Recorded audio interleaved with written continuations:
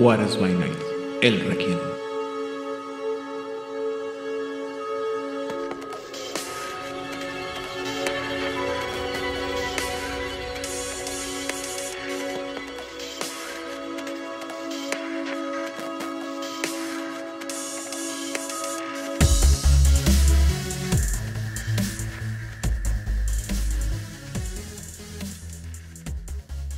Bienvenidos a una sesión más de El Requiem, aquí en Juárez by Night, donde siempre es de noche. Yo soy su anfitrión, Eden Rodríguez, y en esta ocasión estoy acompañado, primero que nada, por la señorita Odil Clio. Hola, muy buenas noches. Muchas gracias por escucharnos. El señor Rigel. Hola, buenas noches. Un placer estar de nuevo aquí. Y por Vlad. Hola, hoy Genji. Hola a todos. Y antes de comenzar el episodio de esta semana, tenemos una serie de erratas que nos gustaría comentar del de, eh, episodio anterior, específicamente del episodio de. ¿Fue el de los Deva? Sí, el de los Deva. Entonces, a ver, arránquese, María Chica, adelante. Primero que nada, mencionar que las disciplinas del clan toreador, que nosotros habíamos mencionado, que eran presence, celeridad y teníamos una discusión sobre la otra física, no son esas. Nos confundimos con los brujas. Las disciplinas del clan toreador, como todos los jugadores de mascarada saben, y nos hicieron son, saber. Y nos lo hicieron saber. Muchas gracias a todos ustedes por escucharnos y por corregirnos. Son presence, auspex y celeridad. Ok. La segunda fase de ratas tiene que ver un poco más con el sistema y es que en las hojas de creación de personaje los atributos físicos sí inician con un puntito. Yo había dicho que iniciaban sin el puntito inicial, pero no, sí inician con el primer puntito y luego ya agregas tus seis puntos, cuatro puntos o tres puntos. Y la última fase de ratas es que también mencionamos que cuando tú tienes una especialidad en alguna de tus habilidades, eso te permite tirar los dieces de nuevo. Eso es falso como un billete de 30 pesos con Pancho Villa. Lo que te hace tener una, lo que te da una especialidad cuando tiras es que tengas un dado más en tu tirada. Muchas gracias a todos por escucharnos y por corregirnos. Sí. Gracias por hacer esa recopilación de ratas y, y, como dijo Dil, gracias a todos aquellos que nos escuchan y que se toman el tiempo de señalar aquello en lo que nos equivocamos, porque como hemos mencionado, a pesar de que conocemos las cosas y leemos mucho y nos preparamos para el episodio, siempre es posible que nos equivoquemos en algún detalle y si alguno de ustedes nos gusta corregirnos, hace el favor de corregirnos, lo agradecemos de sobremanera. Habiendo dicho lo anterior, en esta ocasión vamos a hablar sobre el clan Gangrel, que es otro de los, bueno, es uno de los clanes que pasaron casi, casi igualito de su versión de mascarada a Requiem. Pero las preguntas pertinentes son, Odil, ¿qué opinión tenías inicial de los Gangrel en Requiem? Son iguales a los Gangrel de Mascarada, nomás les cambiaron el nombre a las disciplinas y un poquito la debilidad, pero para eso son exactamente iguales. Muy bien, conciso, al punto. Rigel.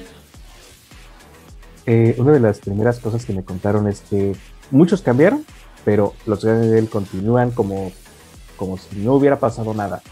Y dije, sí, yo quiero algo que conozca en mi existencia como este ente de esta nueva realidad, así que quiero un gang. Y fue mi primer personaje de COD y lo disfruté increíblemente. Muy bien. Eh. Siento que el, y lo único que pueda uh, agregar es que estaba eh, buscando que me dieran una interpretación más moderna del Gangrel, porque es así como me estaban vendiendo el, este universo, que era algo como una adaptación o muy eh, una evolución de ello. Y al leerlos, la verdad, la primera vez que los leí, sí me quedé pensando, al igual que, que Odile, uh, esto es esto es como si no fuera la misma compañía, esto sería una demanda de plagio. Eh,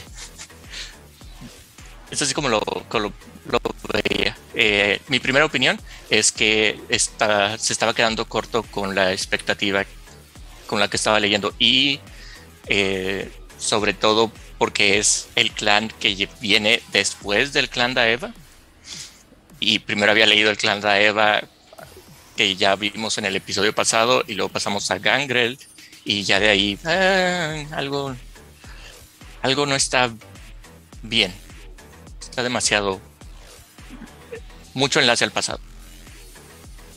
Ok, sí, efectivamente, este, me parecía que era muy parecido a lo que ya había anteriormente.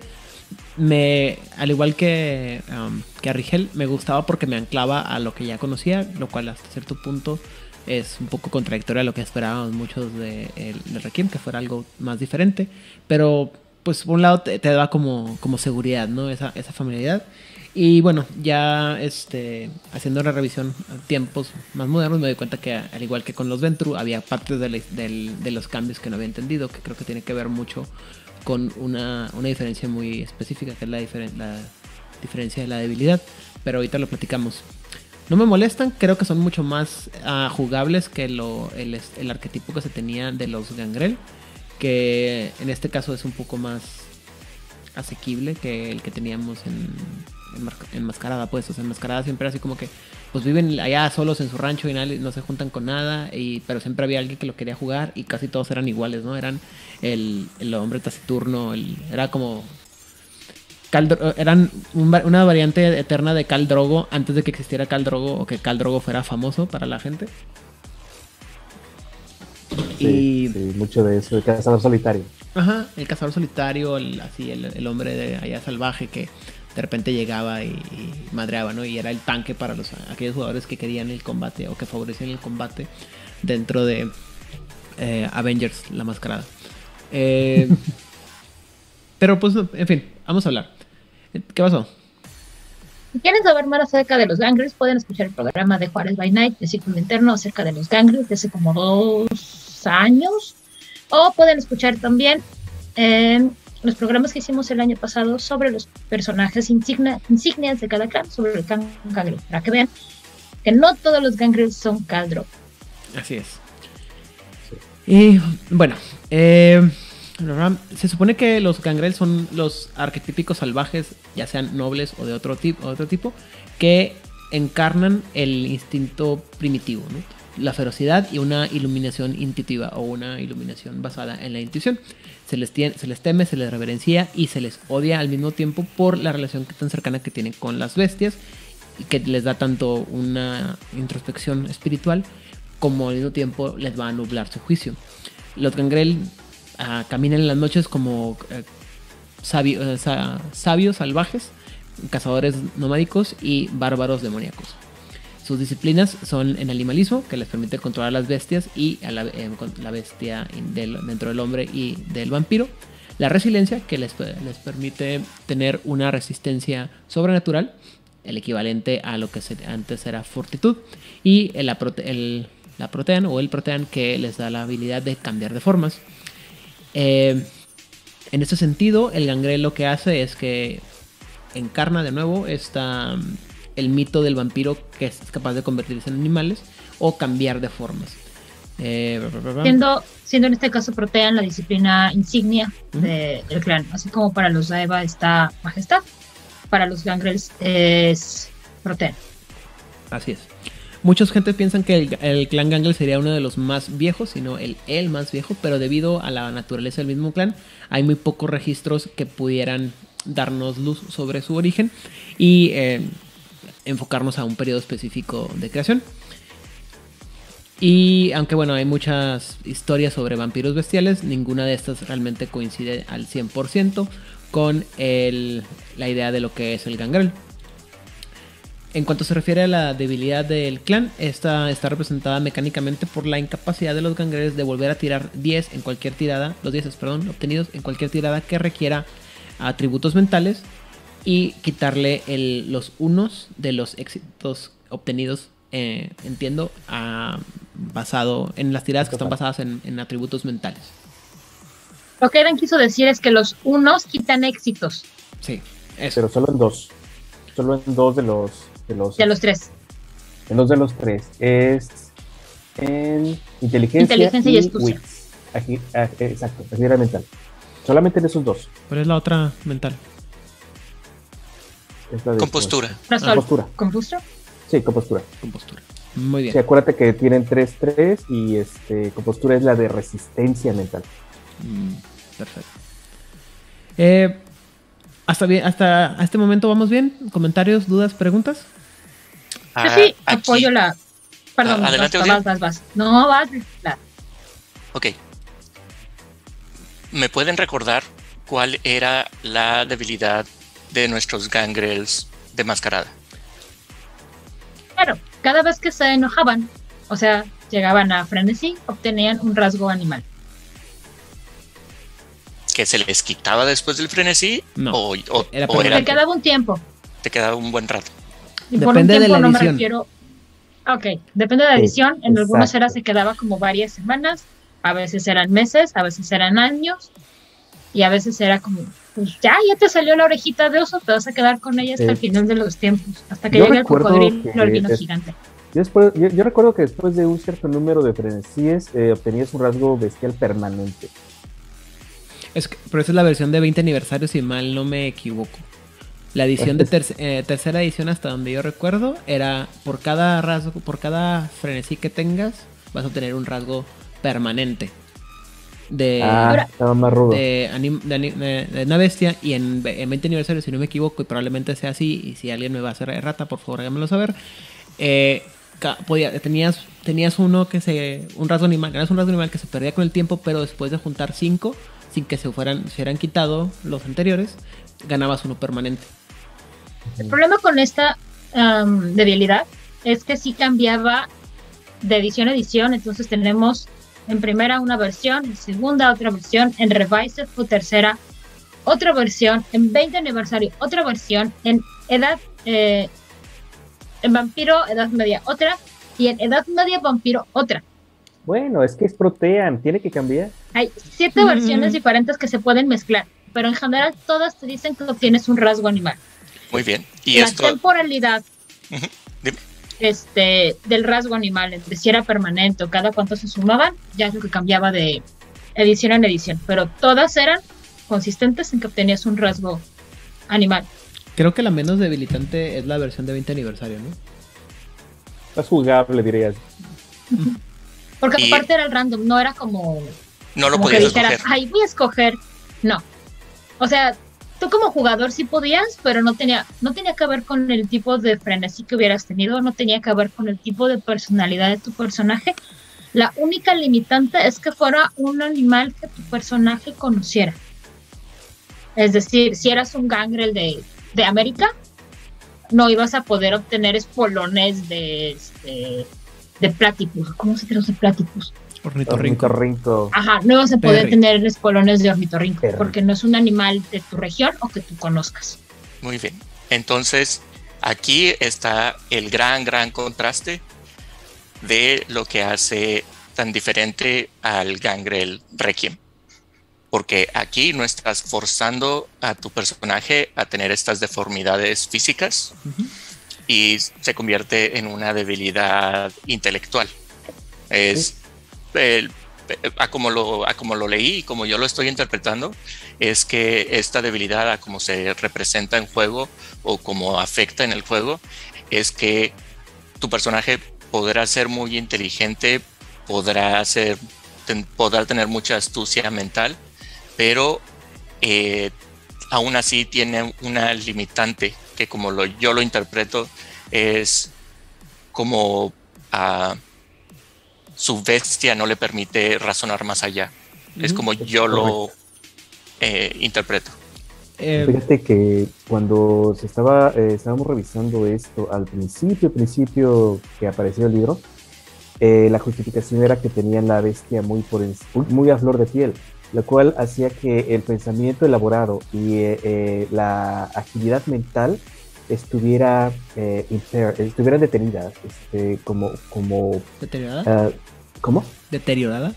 Mm, no deteriorada porque no la pierdes. En realidad no puede sobrepasarse, no puede llegar a más allá, no puede llegar al, al, eh, momento eureka de una persona normal. Pero no significa que sean idiotas, significa que no pueden sobrepasar un límite, porque el- la bestia se supone que siempre está susurrándole cosas al oído para mantenerlos este, eh, ferales. Salvaje. Esa es una teoría. Sí, pues, es que es como que te está constantemente haciendo override o dominando la mente racional, ¿no? Y el, el cerebro lagarto es el que está pensando por ti hasta cierto punto, ¿no? Mucho que ver si es. Muy bien. Odil, ¿tenías todo un apunte? No, no, no, no, justamente eso. O sea, creo que los hace más jugables en el aspecto de si tienes un gangrel viejo, para términos de, de Requiem o incluso de mascarada, un gangrel viejo en mascarada, el problema es que va a empezar a tener muchos rasgos animales que obviamente en la ciudad son un, Impedimento. un, cra- un quebrantamiento obvio de la mascarada. O sea, no es normal que la gente ande con una oreja de oso y la otra oreja de tigre, y de pronto tiene dedos de gorila, y la otra mano tiene como plumas, y, y de pronto la nariz es como un gancho, porque aparte eran random, o sea, eran al azar lo- los, rasgos y pueden ser cualquier cosa. Se me hace O que sea, si eso- tenías suerte, te salían como escamas en el abdomen y nadie las veía. Pero Eso lo debe haber hecho alguien que era antifurros. Ah, ah, es más, hay un detalle aquí.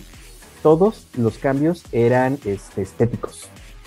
Obviamente eras un, este, una- un rompimiento de la mascarada ambulante y pues, se acabó el asunto, ¿no? Nada que ofuscación no pudiera resolver. Sobre todo Francamente. los, eh, ¿Cuántos? los gangrenos cuántos ya tenían ofuscación, ¿no? Si no me equivoco. Mm, No. Los de De hecho, ciudad. No, ningún gangre aprenderlo. tiene- No era. En fin, la cuestión es que era una ruptura de mascarada porque además no te daba las ventajas. No es como de, ay, tengo el ojo, ojos de águila y, y tengo mejor vista. No, solo se te ven como ojos de águila. Ajá. En cambio, esta, esta debilidad se me hace, en términos de sistema y de jugabilidad, mucho más práctica porque no obliga a tu personaje viejo, digámoslo así, a estar guardado en algún bosque perdido ya que nadie lo vea. Y puedes tener un personaje relativamente viejo, o tan viejo como eh, Requiem te lo permita, muy jugable. Este, nomás para, para ser claros y, no, y para evitar más ratas en un futuro, los gangles de ciudad tienen celeridad, ofuscación y protean. Entonces sí, sí podrían, o sea, eran los que más salían ga- ganando, ¿no? Porque podían saltarse todos esos problemitas. Porque si es una adaptación, es lo que necesito. Los coyotes. Los coyotes. Muy bien. Entonces, hasta ahorita vamos bien, ¿no? O sea, esos sí parece ser mucho más acercables a los jugadores, parece ser menos agresivo con los jugadores y sobre todo eh, les, los permite, los aleja mucho de este mito de que tienen que estar alejados de la sociedad. Los, vampiros del Gang Gangrel se pueden acercar a la sociedad, pueden ser parte de la sociedad, incluso pueden llegar a ser eh, este, pensantes en el sentido de que pueden ser más ah, depredadores mentales más que físicos, pero la debilidad del clan los va a obligar a, actuar de manera salvaje. En, este caso me estoy, imaginando a alguien como el Kingpin de, de Daredevil, de la serie de Daredevil. Es, es esta persona que tiene gran poder, gran capacidad, pero que cuando se enoja como que se omnibula y ya no puede este, pensar bien. ¿Me explico? Ya no piensa claro, a pesar de que sepa cuáles son la manera correcta de actuar, simplemente no puede pensar. Y si me lo piensan, me lo preguntan a mí, que nadie me preguntó, pero como que ya lo voy a decir. Eh, creo que esta es una debilidad que quedaría mucho mejor para el clan Brulla que el simple frenesí. De tanto pensar ahí de con la idea de la, de la pasión y la intelectualidad que se les atribuye muchas veces a los, a los Brulla, le quedaría mejor que el, el simple, ah, ¿cómo se llama? El simple hecho de enojarse por cualquier cosa. Bueno, recordemos que uno de las, una de las bloodlines de los cangres es bruja, por mucho que nos desagrade la encarnación que nos presentan. A mí en lo particular, digo. sí, a no mí me también. gusta. Sí, lo sentí como un golpe bajo. Sí, así como que, ah, ¿Cómo sí, no, son, son los pandilleros mexicanos. ¿Cómo se te ocurre? Los hijos de la bruja, creo. Era algo así. era No, no, no, no, no, los Bruja. bruja. No, no. Los Ajá, brujas. pero es que estaba raro. En fin. Eh, Pero bueno, coincido pero con. Eden en este aspecto, creo que tendría que ver más con esa situación de... Porque los brujas de mascarada son los... tendrían que ser los intelectuales, simplemente que son intelectuales muy apasionados y que te ponen que hacen berrinche muy fácilmente. En este caso creo que sería más prudente esta debilidad, como dice Seidan, de soy muy apasionado y la pasión me ciega cuando me empiezo a enojar. No soy yo cuando me enojo. Ajá. Así es. No cambia. Eh, pero es- Muy bien. En cuanto se refiere a la historia del clan Gangrel, tenemos primero que nada muy rápidamente lo que pasó en la época romana, eh, donde geográficamente se supone que los Gangrel vienen de lo que actualmente se conocería como Europa del Este, donde entran en contacto con la naciente camarilla y a pesar de lo que ellos quisieran se ven eh, jalados hacia su sociedad. Y con- conforme Roma se expande hacia el oeste, también la camarilla y por lo tanto el gangrel lo va a hacer. Algunos historiadores teorizan que el. También teorizan, perdón, que las raíces de lo- del clan gangrel estaba en lo que ahora es Escandinavia. Y desde entonces los gangreles han eh, usado las fronteras o los extremos de los dominios de cualquier, eh, de cualquier de la sociedad en la que vivan como sus territorios. Y por lo tanto los gangreles son vistos como pioneros que buscan eh, crearse una existencia a sí mismos donde, eh, en donde los dominios van a estar se van a expandir más adelante o como carroñeros que se están tratando de mantener ah, que se man- tratan de mantenerse asi- a- asidos o ah, sostenidos a territorios que ya están este que ya no son suyos o que ya cayeron a manos de otro ¿no? y se rehusan a, a, a- renunciar a a. renunciar a ellos Ajá. Entonces, Eh. según estos tenemos que los gangres son o metaleros o hijos de Vangelis. Ah, explique su maqueta señorita sí, explícate.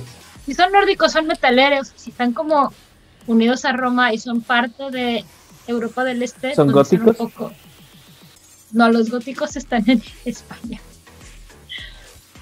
los godos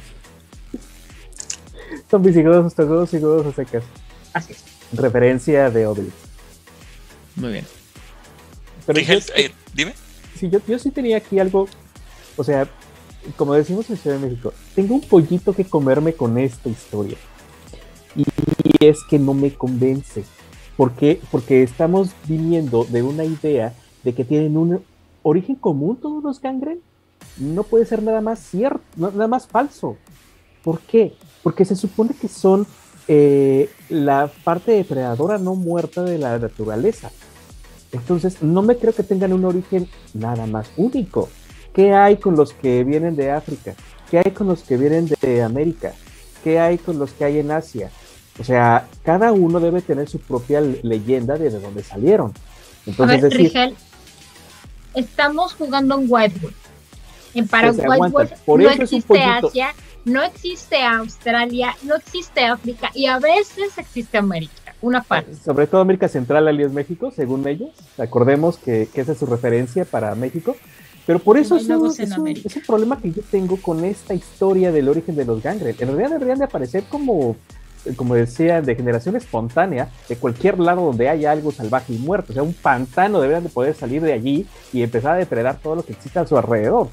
O, o, ¿sabes qué? Le vendí mi alma a la Banshee, que estaba en el, en el, este, ah, perdón, al Ashtabai, que estaba en el árbol de Ceiba y ahora soy un no muerto que me como a mis parientes en, en, en este Yucatán. O sea, cualquier relación que tenga con algo muerto, sobrenatural, debería poderte dar una leyenda de origen de Gangres. No tienen por qué ser nórdicos, no inventes. Aquí debo de agregar la nota que esta, esta historia de, de dónde vienen es lo que la sociedad moderna se cuenta a ella misma. Eh, estoy de acuerdo con Rigel que todos deben de tener... Y como habíamos dicho en el episodio anterior y en el pasado, que aquí todos tienen, ¿cómo se llama? Todos tenemos carta blanca para escribir los, los orígenes. Eh, y esta historia que, que nos cuentan es lo que los vampiros en la sociedad moderna se cuentan a ellos mismos. Claro, estamos hablando de vampiros eurocentristas por porque son eurocentristas. Por descontado. Ajá. Eh, de lo que se llegan a acordar. Pero estoy completamente. eh, yo también tengo al- unas ideas que luego comparto de, de orígenes del, de los gangrel.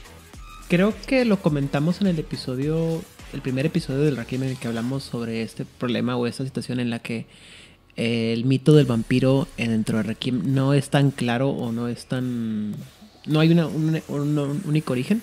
Y yo no, no recuerdo si fui yo, aunque estoy casi seguro que fui yo, el que propuso la idea de que lo que pasa es que los clanes se conforman de una manera muy orgánica, en el sentido de que realmente nadie sabe dónde están los clanes y de repente se van a topar entre ellos en, en diferentes latitudes y, y los clanes que son que se ven a sí mismos como similares van a decir ah es que tú eres de este clan y los otros van a decir o sea eres de mi clan porque eres tienes esta voy a decir morfología aunque estoy seguro que la palabra está equivocada sino tienes esta es bueno este fenotipo que me hace igual que tú aunque puede ser diferente no y en ese sentido eh, a lo que voy es que una cosa que hemos mencionado, ¿no? El uso de las disciplinas pudiera ser un determinante, pero al final del día, como cada vampiro va a usar la disciplina de manera diferente, simplemente son las similitudes lo que forman a este clan. ¿sí? O sea, van a ser muy parecidos y a lo mejor son gangreles, o a lo mejor es simplemente un, una- un atavismo eh, vampírico similar o igual en otras latitudes que se identifica como gangrel, aunque no lo sea. Como pasó. Bueno, lo que, lo que es cierto es que cada quien puede escribir la historia como, como le guste, le plazca.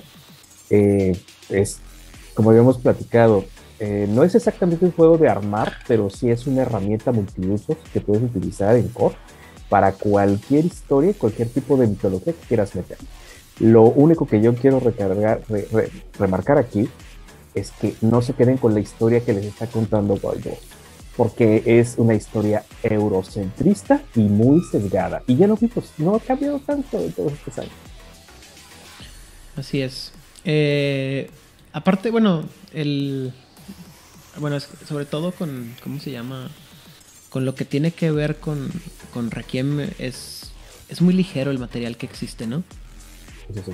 O sea, no hay mucho de dónde hablar. De hecho, a menos que podamos encontrar algo rápidamente, eh, no hay mucho de qué hablar de los de, lo, de, el- de los gangrel, porque Ah, volvemos a esta idea que mencionamos anteriormente, ¿no? El, lo que habíamos visto anteriormente o lo que vimos en Enmascarada está tan calcado aquí en, en Requiem que la verdad es que volver a anal- analizarlo sería pues ser bastante reiterativo, ¿me explico? Por ejemplo, para, para poner un ejemplo, eh, quiero eh, lo que en el libro rojo nos presentan de la descripción del clan de Gangrel, eh, nos dicen un poco de su organización, que es no estamos organizados.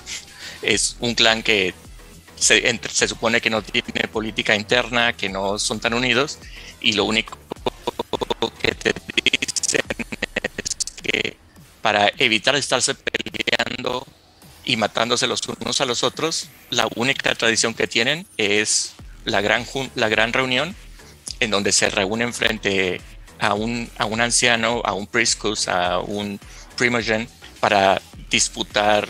eh, es el club de pelea.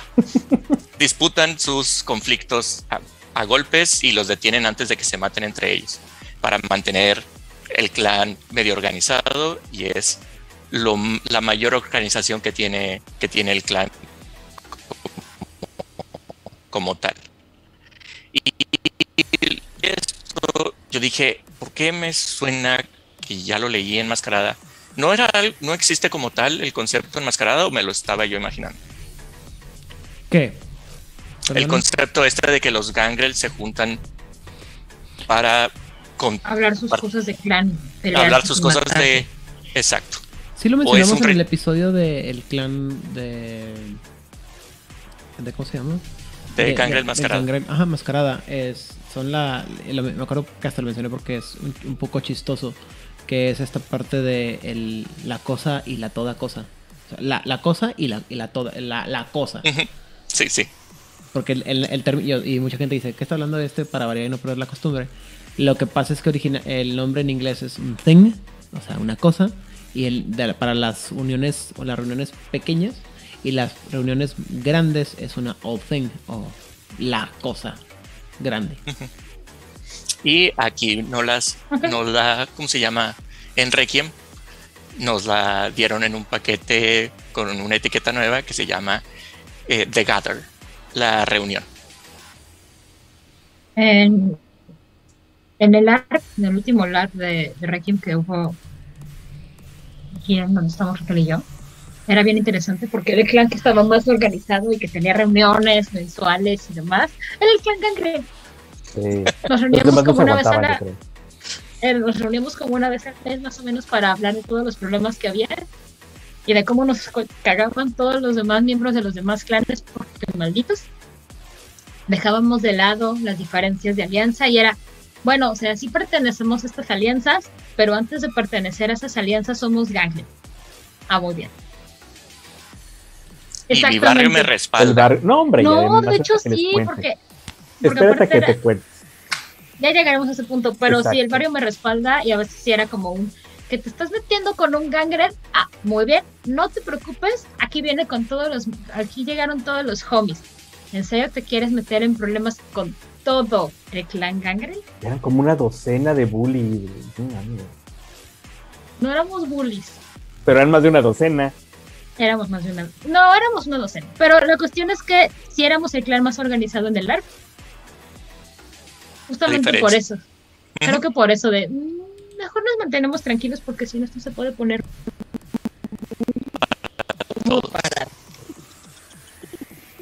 Empezando por la ciudad. Tenía, eh, oh, tengo otra pregunta para eh, continuar haciendo la, la- la comparativa. Eh, de lo que nos presentan, eh, había o hubo un concepto, un elemento de nuestros gangrel de mascarada que no, no llegó a la traducción al Requiem. Pues Hmm. empezando directamente por la debilidad, que es como la más obvia. Estos son los que pasaron con menos cambios. Eso, Sí, Sí. o sea, la verdad es que creo que se, insisto, se calcaron tanto. Creo que el único cambio... Ah, Creo que el cambio más radical es esa unión que había en- entre los gangrel eh, que se mencionaba anteriormente, ¿no? O sea, los gangreles de mascarada eran un poquito más unidos. O sea, ya había más como por dónde juntarse. Pero los gangreles de Requiem son más independientes, ¿no? Y creo que tenía más también más sentido esa parte de pues cada quien por su- para su rancho, ¿no? O sea, te hacen vampiro y ya te hicieron vampiro y pues bueno, que te vaya bien, papacito. O sea, no nos, ya no es nuestro problema. A, a ese respecto tengo una nota. Eh, una de las, no me acuerdo en qué libro, la verdad, en, qué lo le- en dónde lo leí, eh, de sugerencia de creación de mundo para narrar eh, COD, eh, Crónicas de Oscuridad y obviamente Requiem, es, eh, ven que tenemos la organización de 5x5, 5 clanes y 5 organizaciones. Entonces, una de, la- de las fuentes de conflicto es clan contra organización. Entonces, ¿a quién le vas a hacer caso? ¿A tu clan o a tu organización? Entonces, llega un punto en donde el jugador tiene que elegir uno de los dos. Y para forzar eh, uno u otro, puedes darle más eh, refuerzo por parte de narración. O los mismos jugadores pueden organizarse y cambiar la dinámica completa de la ciudad, eh, reforzando una de las dos este, áreas. Entonces, eh, quisieron bajarle, yo creo, quisieron bajarle eh, la relación que tienen tan fuerte en el clan Gangre para reforzar más la relación que tienen los elementos de una alianza en particular. Entonces, es como que relajarlo para que haya más juego. veo lo que veo, veo el punto que haces. Una forma de balancear. No pueden estar tan unidos como estaban en Mascarada. De lo contrario, no tendrían este ah, estos ganches o este em, No habría Ah. juego político, por ejemplo, no. Ah, sí. o tampoco habría juego este, religioso. Entonces quisieron soltarlo de un lado para poder amarrar eh, más las relaciones y los conflictos entre alianzas. Que no significa que no puedas olvidar eso y regresar a como estaba el status quo. Es Ujú. por elección. Sí, sí. También una situación que es como muy obvia es que mientras te enmascarada te presentan a los gangrels como un salvaje que está ahí en el bosque o en la selva o en el pantano, en estos lugares siempre lejos de las ciudades que son mucho más silvestres. El gangrel de Requiem te lo presentan como un espíritu más bien libre. O sea, no importa si lo encuentras en el campo o en la ciudad, lo que él está buscando es ser mucho más libre, es muy individualista en ese aspecto. Y es, esta es, es esta clásica persona que tú ves y dices, no me quiero meter en pedos con él, porque aparte se ve que tiene un carácter como muy fuerte, ¿no? Es, es ese adjetivo de indomable, aunque suene como muy, muy exagerado, pero siento que ese es el aire que te quieren dar con un gangle. Sin importar en dónde lo pongas, puede ser un personaje potencialmente muy social o potencialmente muy físico, incluso potencialmente mental. A lo mejor no tiene esta paciencia de estar ahí 45 horas por esto de los 10 de nuevo en inteligencia o en astucia, pero no significa que no pueda ser un académico. Y me gusta mucho porque aterrizar personajes como este Beckett es mucho más sencillo. Entonces, Beckett en Mascarada suena como un gangrel total y absolutamente atípico, fuera de cualquier arquetipo, de cualquier concepto. Pero en Requiem, un personaje como Beckett no haría tanta disonancia. Tal vez no va a ser tu gangrel común, pero no es un gangrel que no te puedas encontrar.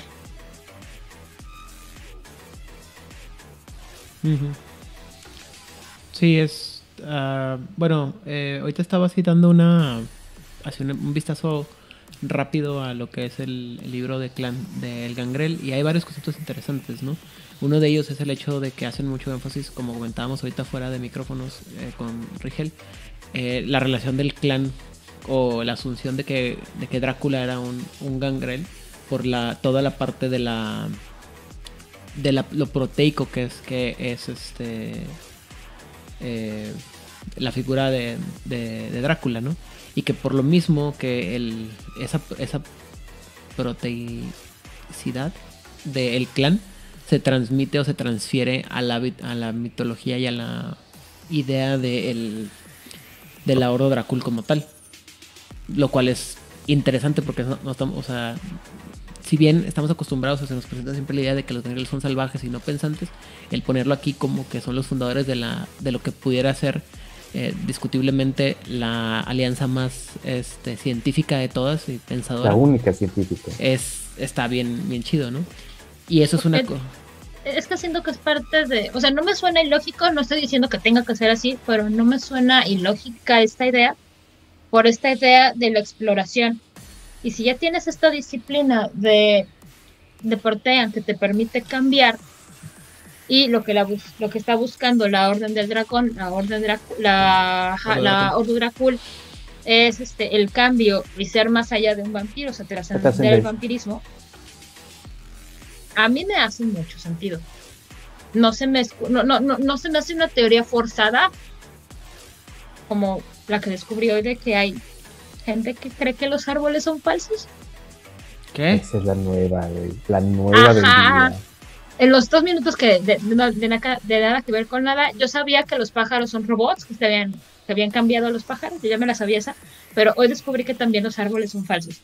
Estoy estudiando más sobre esta teoría. En cuanto aprendo más, en el siguiente episodio de Juárez les cuento, porque me suena a que va a estar bien pendejo.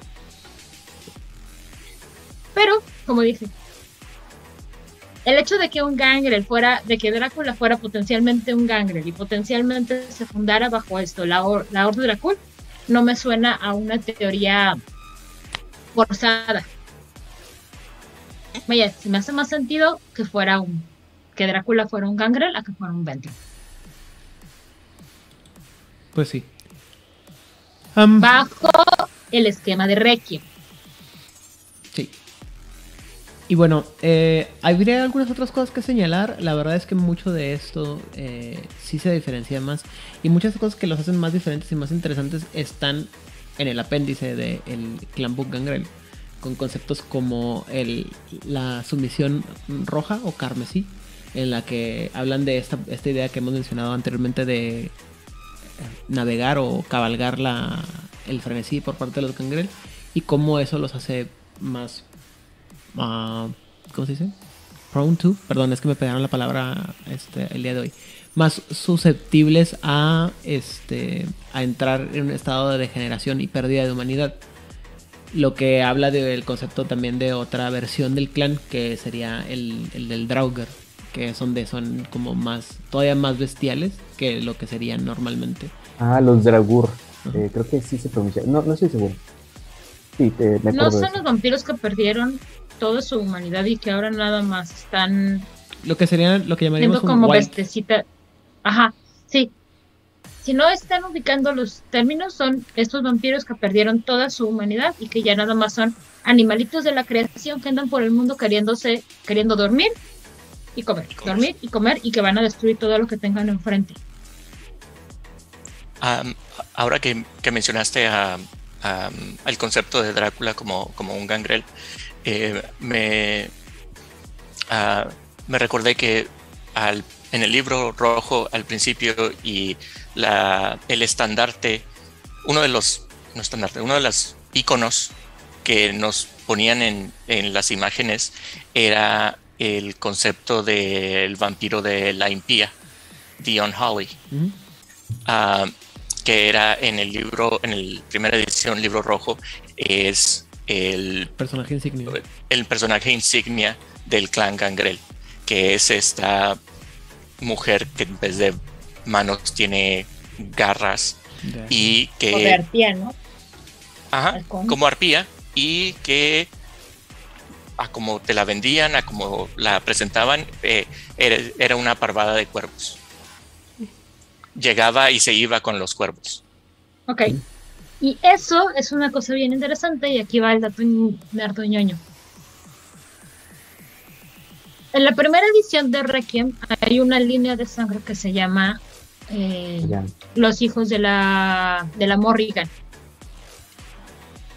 La diferencia que tenían los hijos de la Morrigan con los Gangrel es que tu Gangrel de, de edición sin línea de sangre se puede, cuando llega al nivel de Protean, de poderse convertir en animales, se puede convertir en un lobo o en murciélago y nada más.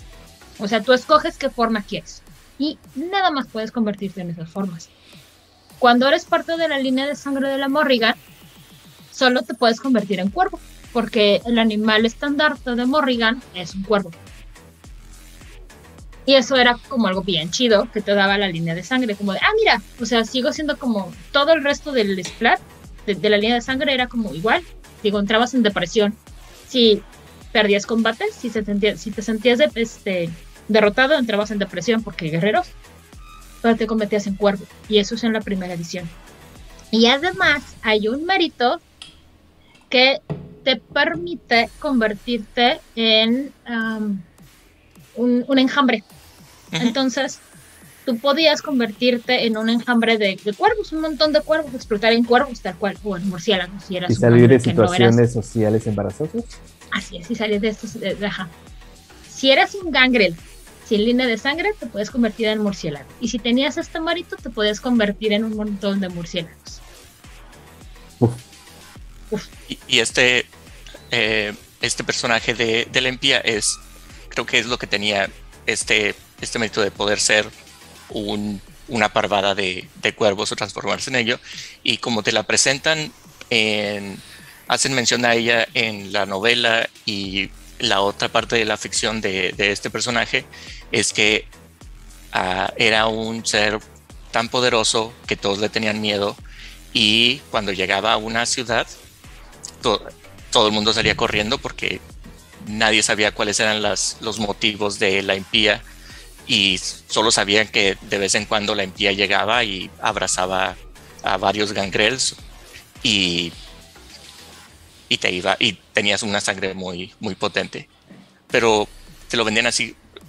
Creo que este personaje de que le tengo miedo a este gangrel tan poderoso es lo que no intentaban no sé, intentaban vender, pero ah, encontraba una ah, disparidad entre lo que el personaje de la impía representa y lo que te puede llegar a causar a como nos lo escriben y nos lo presentan en el libro, que nos hacen pensar de inmediato, como hemos estado discutiendo, que es ah, una, una copia directa de, de los Gangrel Mascarada.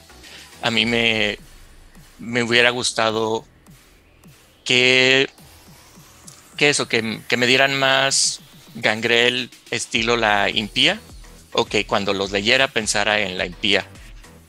Es lo, es lo que quería agregar. Yo.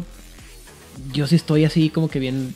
a mí- bueno, el personaje de Limpia me gustaba un chorro. Precisamente por eso que dices tú, porque siento que ese era el ejemplo del gangrel que querían que, que, que- que viéramos, ¿no? Este gangrel que era muy salvaje, pero era muy inteligente y era muy poderoso y la gente le temía. Y creo que en ese sentido sí me gustó que los, y lo hicieran muy parecido porque eran estos.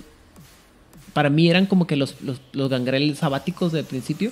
O sea, eran así como que misteriosos, nadie sabía quién eran. Y el hecho de que no estuviera seguido a ninguna de las eh, alianzas que estaban formalmente eh, hechas, como eh, específicamente la, la impía, me gustaba muchísimo. Se me hacía bien, bien padre todo ese asunto de que llegaba, partía madres y nadie sabía qué rollo. Y aparte, pues el chiste era ese, ¿no? Que, que tenía, que mucha gente sabía que tenía muchos miles, o sea, cientos de años y no se hacía más débil. Entonces era un misterio cómo lograba ella mantenerse a- hasta ese poder. Y creo que nunca se. ¿eh? ¿Cómo se mantenía cuerdo? Ajá, y, y creo que nunca se resolvió ese misterio, lo cual está bien chingón, porque está, bien- está bien, gach- bien, bien chido eh, ese, ese nivel de misterio. Creo que lo malo es que eh, agarraron a. O sea, era el, un uno de los mejores conceptos de, de Requiem, y luego lo, lo, usaron para los villanos de la segunda edición. Entonces les digo que. hmm, creo que por ahí va la cosa. Pero bueno, eso ya es un tema muy personal y esto, eso sería para discutir en otro momento. Entonces, habiendo cubierto todo lo cubrible y desafortunadamente teniendo un, un episodio muy corto, No tanto. no Es que-. No, ¿Sabes qué creo? Que el problema que se nos presenta a nosotros, que creamos contenido de, de comentarios y de todo esto, es que nos los hicieron iguales. O sea, en este caso sí es como, bueno, ¿y qué analizo? Mejor te digo, ¿sabes qué? Escucha mi programa de Gangrels. Nada más le cambias estos ajustes. Y, y pues ya. Lo que a mí me lleva a preguntarme qué es lo que estaban pensando los que escribieron esto. O sea, dijeron, vamos a tomar como los mitos de los vampiros clásicos en este aspecto. Porque, o sea, tienes la. Tienes el animalismo, que es para claramente hablar con animales, tener esta comunicación con los animales. Pero además los gangrels no lo ven como una imposición, sino, pues son mis compitas, tengo que hablar con ellos. Tienes la re- resiliencia, que es el equivalente a, perdón, a fortitud. Y el protean, que es, entonces tienes un ser que habla con animales, se comunica con animales, los entiende, le hacen caso, que se puede convertir en animales, que se hace uno con la tierra cuando eh, en el siguiente episodio que hablemos de la disciplina, am, vamos a explicar qué onda con la disciplina de Protean más a profundidad y obviamente esta resistencia sobrehumana.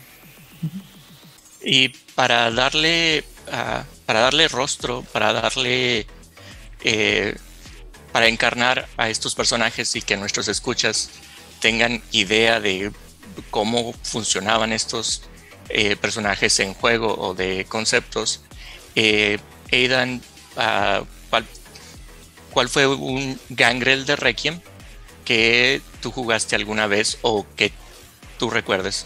Mencionaste que te gustaba mucho la impía. ¿Había algún otro gangrel? Ay, me falla la memoria en este momento. Me acuerdo que hicimos un varios. personaje tuyo o un se llama la enemiga del- de las edades. El narrador de Juárez by Night no tenía alguno así. Ah, a lo mejor se horrible. tocó alguno horrible. Sí, pero no recuerdo en este momento alguno de ellos. Échale una llamadita entonces en lo que nosotros hablamos, échale una llamadita a lo mejor después de mentarte la Espera, madre, pues solo a buscarlo cuando lo un- necesitas. Ah, ya me acordé. Eh, Había un, un gangrel que, discúlpenme, soy muy tonto. Bueno, el, narrador de Juárez Mañana se vio un poco corto de imaginación en ese momento. Y lo que hizo es que se calcó el personaje principal, el que es el. No es el personaje principal, pero es el. No es el personaje principal. El. el vampiro que es el jefe de los más viejos en The Vampire Diaries, cuyo nombre en este momento no recuerdo. Se llama The Originals, la serie, y el personaje principal. Bueno, a ver, ustedes platiquen mientras yo. Muy bien. A ver, ah, Rigel, tú mencionaste al principio del programa que como era el concepto familiar, fue tu primer personaje Requiem o uno de los primeros. Sí, eh, tomando justamente en cuenta que yo quería algo más que conociera, pero quería experimentar la dinámica de las alianzas, yo quería un cartiano. Y dije, perfecto, un cartiano gangrel, pero me voy a definir por ser más cartiano. Todavía no habíamos llegado al punto de hacia dónde íbamos a jalar, así que dije, ah, yo, voy, yo me voy con todo por, esta, por este lado. Así que sí, también llamarlo Diógenes eh, buscando un, un vampiro justo. Ese era su, su trademark de, de este bicho. Entonces, Spoiler, nunca lo encontró. Nunca lo encontré, güey. Sobre todo porque lo buscaba en los lugares malos, porque pues se me metió en la política. Justamente, se metió en la política y dije, no, aquí no voy a encontrar nunca nada. Pero no lo pensó en ese momento, no era muy brillante, he de decirlo. Eh, pero en lugar de darle por el lado de Protean o por el lado del animalismo, me fui por resiliencia. Entonces había muchas habilidades de Cartiano para resiliencia, al, al punto de que uno de sus movimientos base era hacer estallar una granada en su mano, pegado a la cabeza del enemigo que tenía aprisionado. Entonces, Ese es, uno, ese, ese es un truco buenísimo para fiestas. buenísimo. El Él lo podía repetir fiestas. más de una vez. Él Lo sí lo podía importó. repetir más de una vez. ¿Era la bomba? Era la bomba. El movimiento, el movimiento trademark de este personaje es: esta es tu cabeza, esta es la granada, bomba. Entonces, Pero vas este- a perder la mano o la cabeza. tú vas a perder la cabeza, exactamente. Era muy divertido y lo repitió al menos tres veces. Al menos lo hizo tres veces con sus respectivos enemigos. Tenía enemigos en el círculo de la bruja. Tenía enemigos en este, entre los invictus. Se hizo un amigo del príncipe, estuvo genial y aún así terminó siendo sheriff. Porque además su barrio sí lo respaldaba. Entonces tenía todos los cartianos de su lado. Es más, llegó un punto donde estábamos a punto de hacer un golpe de estado para imponer la ley cartiana en la Ciudad de México. La ley cartiana, lo vamos a ver eventualmente, es una especie de brujería colectiva que les permite de- definir leyes y el que la rompa mágicamente. No es, una, no es una brujería, es la voluntad de las masas, aunque también hay un poder cartiano que así se llama. En fin, el chiste es que este personaje era así. Eh, em, se supone que era un ladronzuelo de poca monta, bla, bla, bla, bla, bla. No tiene importancia su trasfondo antes porque él consideraba que esa era una vida anterior y cuando fue abrazado era una vida completamente diferente. Nunca le enseñaron nada, o sea, lo abrazaron de forma ahí botado. Muy clásico, Gangrel además. Porque cambiar un clásico. Y entonces este, el personaje empezó a hacer este, sus pininos entre la sociedad eh, no muerta de la Ciudad de México. Vio que el príncipe era un, un tal García Dueñas y la verdad es que le caía mal porque era un Ventru y además era un Invictus. O sea, más mandón no podía ser el tipo. Y decía, no, pues es que ¿por qué te voy a hacer caso? Tú no eres nada, tú no eres nadie. A lo mejor sí, dominación y lo que tú quieras, pero híjole, güey, ¿cómo te explico que a mí esas cosas no me hacen daño? Ah, porque también tenía para resistir dominación. Era un tanquecito. El, el- el- Un tanquecito. Era un Con mala Perfecto. Era divertidísimo el personaje, porque todo el mundo lo subestimaba. A mí no, pero al personaje sí. Entonces estaban como que, ay, Rigel está jugando esto. No sabemos si el personaje puede hacer algo o no puede hacer algo. Mejor no, hace- hacemos como que no lo hacemos en presencia de Rigel. No sé por qué tenían esa idea de que yo me iba a meter en sus planes. Lo cual le sirvió mucho para detener una serie de ataques hacia la nueva príncipe de la Ciudad de México, que fue elegida entre todos los eh, dirigentes o gente importante de, el- del, del art. Entonces, terminó siendo el, el gangrel eh, de eh, Sheriff. O sea, también otro, otro clásico. Y ahí terminó la historia, eh, hasta donde terminamos el, el clan. Sí Entonces, te, sí te adentraste con, con este personaje como como dijiste, si te adentraste en la dinámica, una, una de las dinámicas del juego de, de alianzas, Invictus Cartiano. Invictus así es. Cartianos. Así es. Entonces, eh, era un gangrel que su principal era físico, pero su secundario era social. Era un personaje muy social y tenía discusiones muy interesantes con todos los demás personajes. No utilizaba rasgos este, mentales, porque él era más un fanático de la ley de las masas y de la voluntad. Era bolchevique hasta el más no poder. Era divertidísimo. Gracias, Rigel. Eh, O- Odile, ah, cuéntame eh, de algún gangrel tuyo o de un personaje gangrel que, que recuerdes de los Reiki. Fue mi personaje, que jugué como no sé cuántos años.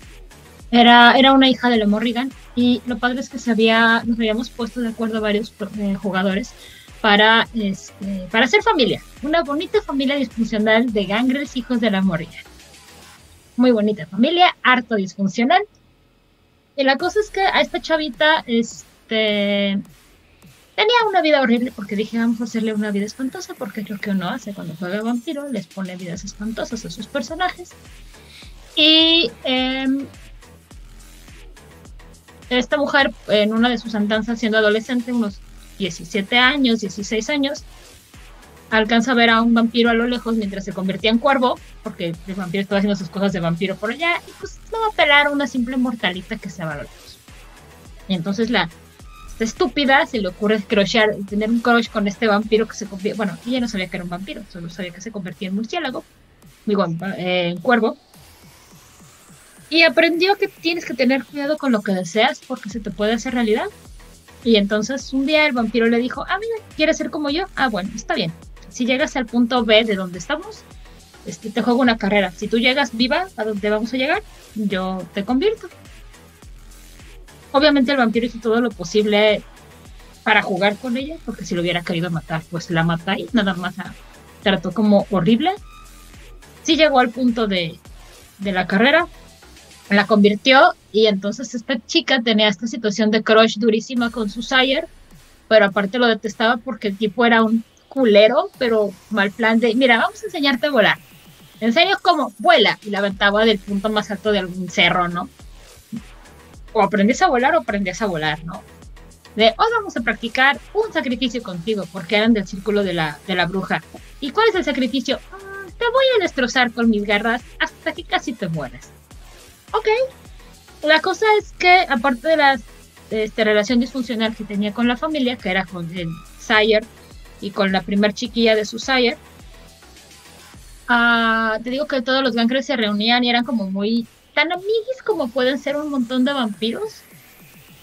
Pero sí habían quedado como muy claros que lo primero que tenían era su, su alianza, digo, su, su clan. Entonces, de pronto, aunque las alianzas a las que ellos pertenecían estaban muy peleadas entre sí, cuando eran estas reuniones del clan Gangrel era, a la alianza le dejamos en la puerta, aquí venimos Gangrels. ¿Y cuáles son los problemas que los Gangrels estamos teniendo en esta ciudad? No, pues esto y esto y esto y esto. No, ah, ok, pues vamos a arreglarlos. ¿Cómo? Pues es muy sencillo. Llegaba el gangrel más viejo, yo voy a hablar con el príncipe y si el príncipe se pone tonto, pues nos ponemos más tontos nosotros. Y a ver quién va a ser el que se va a enfrentar a todo el clan, porque además todas las alianzas tenían gangrels, todas. Y si nos poníamos muy tontos. Porque lo interesante es que había un gangrel que era de la Orden Dracul y era brillante, pero estúpidamente brillante. Y todo lindo y tranquilito hasta que usted decidió que iba a sacar sus atributos físicos y casi nos mata, porque lo controlaron mentalmente. Ok. ¿Tú, Vlad? Am, eh, mi, mi personaje eh, Gangrel se llama Juan. Creo que no escucha el nombre del- de esta hija de la Morrigan O'Deal. ¿Cómo se llama? ¿Magdala? Ah, Juan era eh, un peón más que trabajaba en los cañaverales, eh, que eh, había llegado un, había caído un mal en, en la hacienda y los peones estaban cayendo muy enfermos. Eh, Para toda la gente que vive en ciudad o que no vio la novela Cañaveral de Pasiones, ¿qué es un cañaveral? Oh, ca- eh, cañaveral eh, son los campos, los plantíos donde se planta y se cosecha la caña de azúcar. En- y eh, la gran industria, parte de las grandes industrias de la, de la Nueva España. Eh, y en, esta gran hacienda, así que ya no hay los suficientes trabajadores, suficientes peones para estar trabajando los, el cañaveral.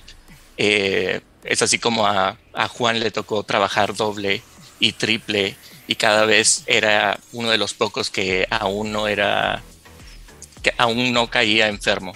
Nadie sabía qué es lo que le estaba pasando al resto de los, de los trabajadores.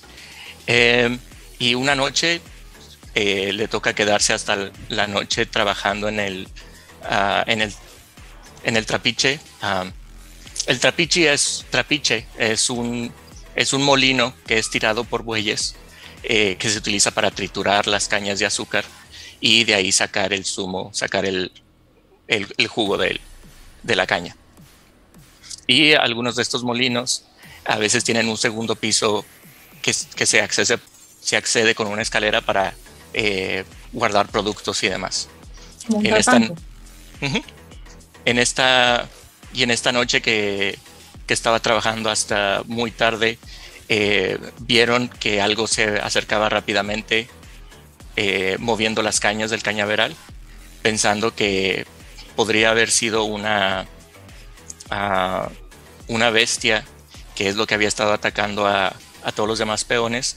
Eh, agarraron Juan y sus compañeros machete en mano y estaban listos para para atacar cualquier cosa que saliera del cañaveral, pero no tuvo tiempo de siquiera ver qué fue lo que salió de entre las cañas y lo último que recuerda es ver destrozados los cuerpos de sus, de sus compañeros y es esa noche cuando recibe, recibe el abrazo.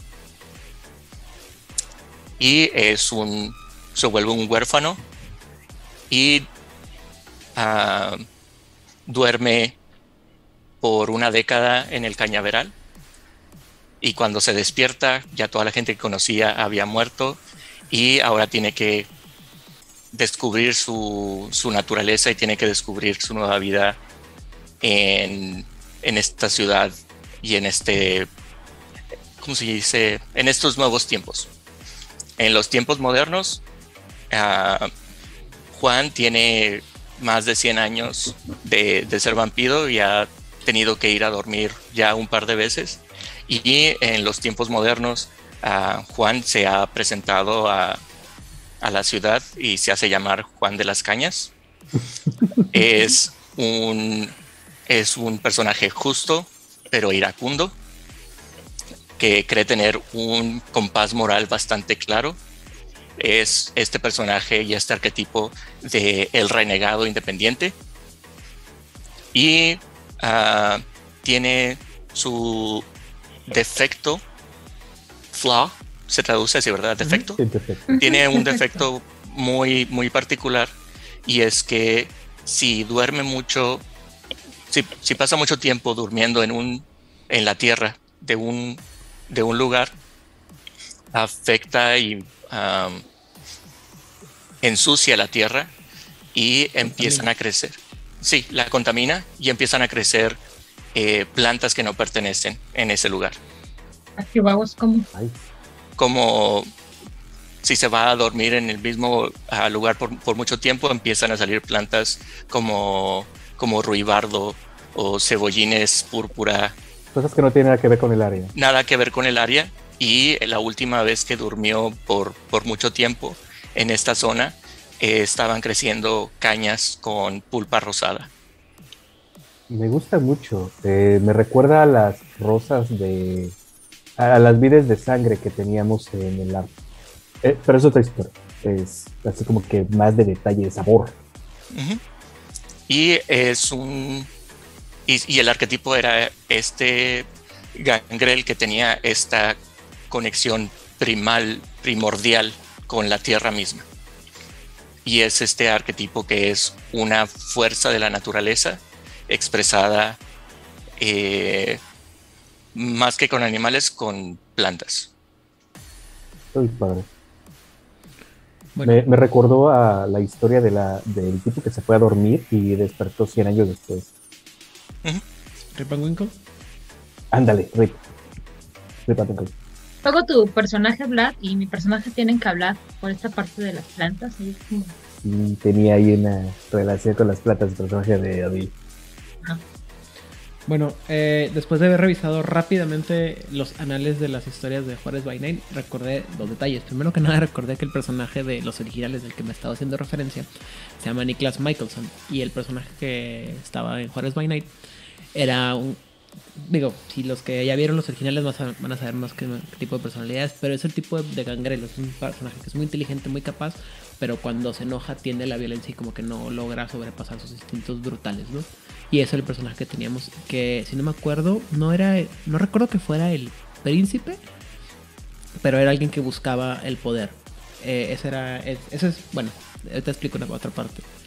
Y curiosamente, si mal lo recuerdo, lo hice un Invictus, porque me gustaba esta búsqueda del poder eh, y contrapuesta con el im- impulso animal de la, ah, del mundo, ¿no? Eh, mm, mm, mm, ¿Cómo estuvo? Ah, pero lo que quería platicar es que, bueno, Juárez Mané tuvo dos grandes versiones del Requiem. Una, que fue la que, cuando, la que conoció Vlad, que fue la que le tocó jugar a Vladimir, que fue donde hicimos todos estos personajes, todo el borlote. Y la segunda es esta, una, crónica muy pequeña basada en eh, segunda edición, donde, perdón, jugué con Ángel Danop, Erasmo, Rod y Eric Garay y nuestro buen amigo Julio, eh, en la que está más enfocado al, al concepto, a la idea de eh, segunda edición de Requiem, donde sale este personaje que acabo de mencionar. Pero en la primera versión había un personaje con el nombre de Rapaz. Y Rapaz era un miembro de la Lankea Sanctum, que era un personaje, como dice Odil, con historias trágicas, que, bueno, cuyo no recuerdo en este momento, pero el chiste era que era un mártir, era un esos católicos que se automartirizan. Entonces estaba acostumbrado a, a causarse daño continuamente como expresión de su fe, por lo cual había desarrollado una gran re- resiliencia. Y más que nada porque estaba hecho para... eh, iba a ser eh, el personaje que dirigía la, la Lankea, que era un Meket, si mal no me equivoco. Un personaje muy, este, ¿cómo se? Radicalizado. Y, y que buscaba, estaba buscando entrar en conflictos. Y era muy así de, de quema de libros y, y cuánta cosa. Y quería, buscaba el poder contra, enfrentarse contra el príncipe de la ciudad. Entonces la idea era que eventualmente alguien, alguien iba a tener, eh, alguien se iba a querer enfrentar a, golpes con este, con la violencia, con el, con el jefe de la lanquea, el, arzobispo, y todo el mundo iba a pensar que pues como es un mequet no iba a poder hacer nada, hasta que iba a sacar a, a Rapaz de, de las cadenas y los iba a mandar. Y pues es un vato que, un Grell, que se martiriza a sí mismo, que tiene buena resiliencia, que tiene eh, protean y que aparte es un Gladius Day, ¿no? O sea, es un soldado de Dios, entonces pues amárrense las, las agujetas porque va a venir violento el asunto. Sí. Los gangres fanáticos a mí me dan un chingo. Y bueno, Bueno, cualquier vampiro me da un chingo de miedo, pero Pues, y bueno, habiendo cubierto todo lo anterior, y creo que ahora sí, sin haber nada más que mencionar de, en este episodio sobre el clan Gangrel, Odil, saludos y redes sociales o contacto para ti. Pues yo quiero mandar muchos, muchos saludos a Itzamna. Quiero mandar saludos a nuestro muy querido Edgar, a nuestra muy querida Sofía, a nuestro muy querido jugador casual. Ahora que lo mencionas a este Danot, hace mucho que no sé de él, espero que se encuentre bien, que nuestra madre lo esté protegiendo. Saludos a Hernán, saludos a Itzamna, Sí. Saludos a Lot, saludos a Julio, muchísimas gracias a todas las personas que estoy olvidando mencionar, como Camarilla México y Bot Latinoamérica. Muchísimas gracias a todos ustedes que nos escuchan, que se toman el tiempo para mandarnos sus comentarios, para corregirnos cuando nos equivocamos. Muchísimas gracias, agradecemos to- todas esas atenciones. Les deseo una excelente semana y a mí me encuentran en Twitter y en Instagram como Odile Clip. Que tengan una maravillosa y fantabulosa semana. Muy bien. Rigel. Eh, yo quiero saludar, bueno, ya ya lo mencionaba a todos. Este, Hernán, espero haber hecho un buen papel por el Gangrel. Sé que es tu favorito y no pudiste venir. Y quiero agradecer especialmente a, eh, bueno, al Club del Arte de la Ciudad de México, que espero que alguno quiera escuchar, pueda tenga tiempo. Eh, y para recordar estos viejos tiempos, la verdad me gustaría oír comentarios al respecto. Y me pueden encontrar en este, redes sociales como Rigel Vera. No prometo responder rápido, no prometo responder, pero es lo que puedo. Muy bien. Vlad. Saludos a mis amigos de Fortaleza, de Sao Paulo y Santos by Night en Instagram. Me encuentran como Antlerhead y los links estarán en la descripción de, este episodio, tanto en nuestro podcast y también ah, cuando subimos nuestras ah, grabaciones a YouTube también, que agradezco todos sus comentarios en todas nuestras redes sociales. Muchísimas gracias a todos. Y también me gustaría, eh, ya que estamos compartiendo con ustedes nuestros personajes de Requiem eh, en nuestro Instagram o nuestras otras redes sociales, ah, compártanos cuáles fueron sus eh, gangreles, sus personajes gangrel de Requiem con los que ustedes jugaron o que les parecieron eh, más característicos. Gracias. Bueno, pues por mi parte voy a saludar a los sospechosos comunes, a los que nos faltan el día de hoy. Edgar, Sofía, Oliver, eh, también eh, en el DF, a la gente de Masterface, dígase a Luis, Lalo y Carlos, además de Oliver también. Y pues a todos aquellos que nos, que nos apoyan como Camarilla México o Latinoamérica, eh, La Voz de Angan, Secretos Oscuros, el Carnaval de la Medianoche, el Circo de la Medianoche, perdón. Ah, en España, toda la gente de la Metal Frequency, que ahora ya, ya demostraron que si nos escuchan y ya, saben, ya escucharon los saludos. Y eh, también el espejo de Malcaf, allá también hasta España. Mm, mm, mm. A toda la gente que nos escucha en general, muchas gracias por apoyarnos. Ah, Corona Roll, siempre se me olvida Pepe, pobrecito Pepe. Y a toda la, gente. Patrimonio de Fronsac. Ya lo dije. Eh, pues el primer que es todo lo de la, la frecuencia. Pero bueno, eh, y mm, creo que no me falta nadie. Am, ah, sí, bueno, eh, y haciendo eco la invitación que hace mucho que no hacemos, pero ya saben que si alguno de ustedes que escucha este programa está interesado en hablar alguno de los temas que aún no hemos hablado, puede con mucho gusto mandarnos un mensaje, acercarse a nosotros y decir, oye, tengo interés en hablar de este, este tema porque quiero, creo que puedo contribuir. Con mucho gusto les, avis- les avisamos cuándo va a ser la grabación y con mucho gusto lo recibimos. Ya saben que no solamente nos nutrimos de sus comentarios y correcciones, sino también de su participación, además del el tiempo que nos dedican semana con semana. A mí me pueden encontrar en todas las redes sociales con el nombre de Aidan, dígase Aidan Rodríguez, ya sea Twitter, Facebook, Instagram, el tiempo de respuesta puede variar. Pero habiendo dicho todo lo anterior, ya saben que si les gusta todo lo que tiene que ver con los gangreles, ya sea Mascarada o Requiem, así como el mundo de tinieblas o las crónicas de tinieblas, Vampiro la Mascarada, el Requiem, o mundos similares, parecidos, alternos y hermanados, por favor, Compártanos. Compártanos.